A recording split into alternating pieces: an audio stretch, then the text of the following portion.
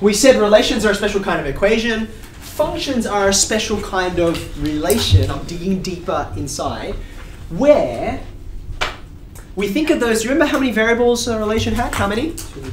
Always two, two, two, two, right? The two variables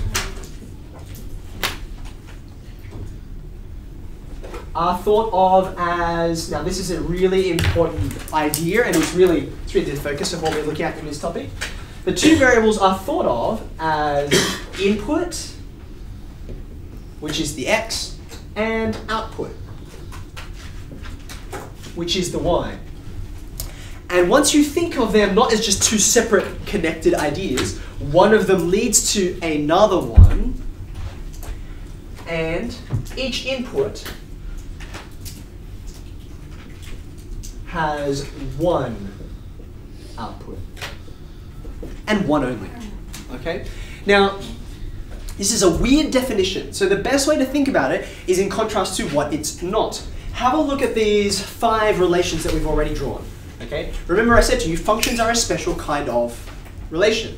Most of the things that you've drawn here are functions, except for one. Let's have a look at this, right? If this is the input, this is the output. Input, output. You put in an x, how many values of y do you get out? Exactly one, right? In, exact, in just the same way, if you put in a value of x here, you put in an angle, you'll get out exactly one y value, right? Sine of 30 degrees is only a half. It's not like a couple of different things. I can keep going through this until you then get to this guy, right? You supply an x, like say x equals 0. When x equals 0, how many y's do you get? The answer is more than 1, right? y can be plus or minus 1.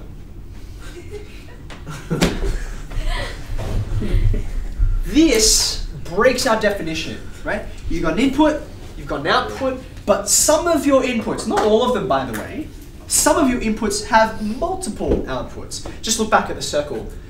There are some inputs, exactly two in fact, that do give you exactly one output. Where are they? Can you see them? x equals negative 1. Do you see that's got exactly one output, namely 0? And x equals 1 also has exactly one output. But it doesn't matter that somewhere it's okay. We needed to have it everywhere, okay? Each input, exactly one output all the time, okay? So maybe up on the, um, next to your table, you want to label. Four out of these five um, are functions. These guys are functions. They are also relations. Functions are a special kind of relation.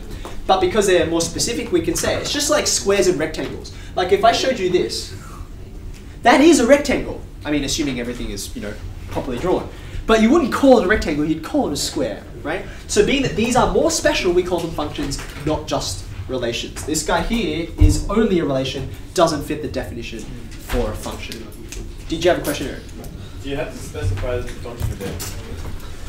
I'm glad you asked that. Okay, so along with this idea here, where one is an input and one is an output, we introduce new language and new notation. Okay, so we say y is a function of x, right? y is a function of x. Here's your input, right? Here's your output. You can say this in other ways too. You can say temperature is a function of altitude. Does that make sense? If you know where you are, you can, with some certainty, work out what temperature you are. The higher you go, the colder it gets. Okay? We say y is a function of x. The way we write this, do you remember I showed you this before? That, right? I said, look, that's a relation, right? If I want to make specific that I'm talking about this in function terms, because that is also a function, I would write this like this. And this is weird. There are things to dislike about this notation, but it's so important and so useful for other purposes that it's worth swallowing the problems. Okay? I want you to have a look at the left-hand side of that equation. If you didn't know any of this, what would that look like to you, the left-hand side? Doesn't it look like y times x in brackets? It's what it looks like, right? It's what you've been trained to think of it as. But in function notation, we read that as y is a function of x. And, and this is what the function is. This is how I define it. Okay? Um, I can say this in all kinds of ways. For example, I could say this. What do you think that means? What? The area of a circle is a function of its radius, and this is what that function is. Okay? Um, there are other things, you don't need to write this down, but you might have to say this. How would you read that? Come on, look, look, think. Look at the right hand side. This is a volume. Volume is a function of the radius and the height, and this is what that function is defined as. Does that make sense? We're particularly looking at that area where you've got one input and one output. Question. With the volume one, doesn't have, doesn't that make three variables? Okay, so this is where this is why I said not to write it. This language does get because it's so useful and so powerful. It gets borrowed by all other kinds of branches of math and science as well. So what we're looking at, our, our rigorous definition is just one input, just one output. Okay, which keeps things nice and simple, but you can still do lots and lots of interesting stuff with it. Okay. Okay, now this notation here, I want to stay on this, right? We're talking about functions. So often your functions will not be called y, they'll be called f. Any guesses what the f stands for? Function. Function, okay? So this is a function. I'm calling it f. You can call it anything you like. You can call that function Eric if you want. I mean, I, I don't know why you would, but you can, okay? So I can say Eric is a function of x. You hand Eric a number, and then Eric does this stuff to that number, right? So for example, I'm just going to run with it. I can say Eric of 5. What would that mean? I would take the number 5 and I'd place it into the function in place of x. So it would be uh, 5 squared plus 5 squared plus 6. So it would be 56. Eric of 5 is 56. You don't have to put just numbers in it. You can put in other algebra. So for example, you could go Eric of, I'm just, this is just too much fun, so I'm going to stop now.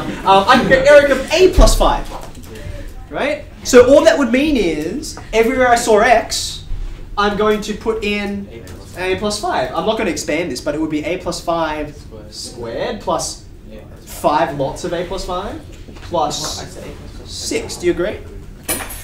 And I'm definitely going to stop here, but the thing is, you can put anything in here. You could even put in other functions. Don't think too hard about what that means, okay? But all that would mean is, okay, look, x squared plus 5x plus 6, that's what this function is, right?